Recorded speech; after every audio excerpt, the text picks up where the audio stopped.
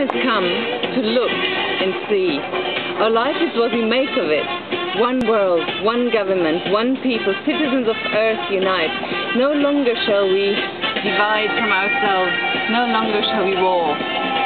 One government rules the world, not one man. All borders are brought down, all nations are one. One law, one decree, one creed across the world. Freedom, love, peace. The world government gathers all resources and divides them evenly throughout the earth.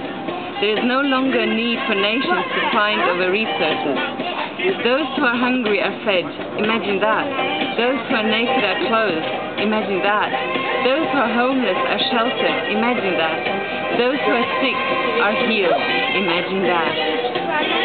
With all resources at its disposal, the world government works diligently across the planet, building, building, building for our first communal purpose. Our people work as one to build basic housing for every citizen of Earth. It has been decreed that every citizen has the right to basic housing. Beds, amenities and furnishings are installed with all the resources. Okay, can I